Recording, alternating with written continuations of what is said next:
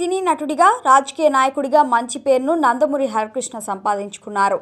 సినిమాల్లో అందరూ టైగర్ అని పిలిచేవారు. ఈయన బుధవారం ఉదయం రోడ్డు ప్రమాదంలో మృతి చెందారు.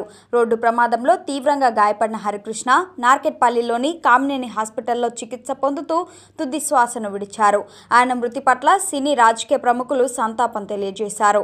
గురువారం సాయంత్రం ఆయన గెస్ట్ హౌస్లో అంత్యక్రియలు ముగిశాయి. ఈ క్రమంలో అంత్యక్రియలు ముగిసిన తర్వాత జరిగిన ఒక సంఘటన ఇప్పుడు నందమూరి అభిమానులందరినీ బాధ పెడుతోంది.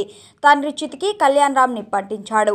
కళ్యాణ్ రామ్ పక్కనే ఎన్టీఆర్ కూడా ఉన్నాడు. ఆ అంత్యక్రియలో నందమూరి కుటుంబ సభ్యులు ప్రముఖులందరూ పాల్గొన్నారు.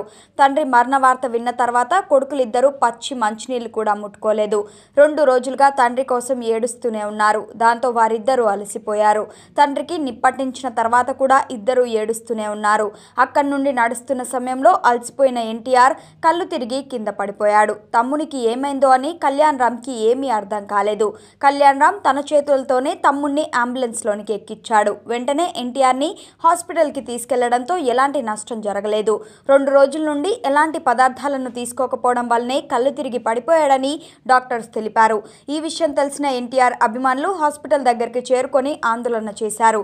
ఎన్టీఆర్కి ఏమీ కాలేదని వైద్యులు తెలపడంతో అక్కడి నుండి వెళ్ళిపోయారు. ఎన్టీఆర్ కళ్ళు తిరిగి కింద పడిపోయినప్పుడు అక్కడ ఉన్న వ్యక్తి ఎవరో వీడియో తీసి సోషల్ మీడియాలో పెట్టారు.